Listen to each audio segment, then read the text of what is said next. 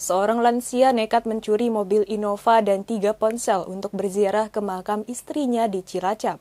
Dia adalah Suparno berusia 70 tahun yang kini sudah ditangkap polisi karena aksinya itu. Ia mencuri mobil milik seorang perempuan berinisial F. Aksi pencurian tersebut dilakukan Suparno di halaman perkantoran di Gudang Peluru Selatan, Kebun Baru, Tebet, Jakarta Selatan pada Selasa 24 Januari 2023 malam.